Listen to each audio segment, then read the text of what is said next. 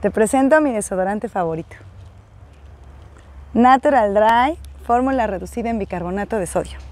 Está ideal porque sí me protege contra el mal olor, pero no me irrita, no me da comezón, tiene la cantidad exacta de bicarbonato que necesita mi pH y estoy protegida por 12 horas.